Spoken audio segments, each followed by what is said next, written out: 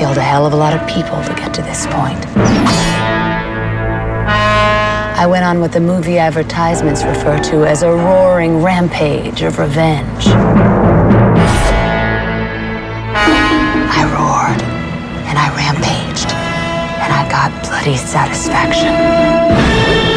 You've got to start becoming afraid of her because she is coming. And when I arrive at my destination, Kill Bill.